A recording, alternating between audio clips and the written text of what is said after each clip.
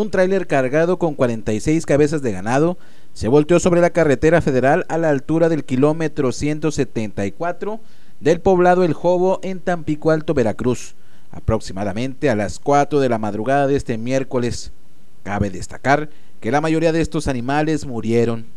Según narró el conductor del camión, de nombre Roberto Carlos Domínguez, de 29 años de edad, la causa del accidente fue por una camioneta que se le atravesó por lo que al volantear perdió el control y se volcó sobre la carretera federal. Cabe hacer mención que este cargamento venía procedente del estado de Chiapas con destino a Jiménez, Tamaulipas. Así lo informó el director de Protección Civil Municipal, Davis Sael Maya de antes. Este, al parecer, al parecer un tráiler cargado con becerro de exportación se volteó a las 4 de la mañana. El chofer comenta que perdió el control que porque un vehículo se le cerró, pero pues, bueno, eso es lo que comenta. Y venía cargado con 46 becerros del estado de Chiapas al, al, estado de Tamaulipas, exactamente a Jiménez, Tamaulipas.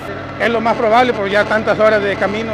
Yo, es, es, lo más, es lo más seguro que fue eso que se durmió. ¿Por cansancio? Por cansancio, sí, efectivamente. 4 de la mañana, pues venía súper cansado ya manejando tantas horas. Al lugar del accidente arribaron elementos de la Policía Municipal, Policía Federal, Protección Civil y elementos de la Marina Armada de México, quienes estuvieron apoyando en todo momento en la circulación del tránsito vehicular, que en momentos se tornaba lento por las maniobras que se estaban realizando para sacar las reses de la caja del tráiler. Las maniobras son para, para rescatar a los animales que están vivos, pero la mayoría se murieron. Al parecer ya van rescatados 30 animales muertos y vivos pues son poquitos. Son, pues son como 16 el resto. Eh, eh, ¿Cuánto tiempo está blo estará bloqueando la circulación? Eh, al paso que va, yo creo que una hora más todavía, sí. ¿Una hora más? Sí, porque desde la mañana están las operaciones, eso es complicado.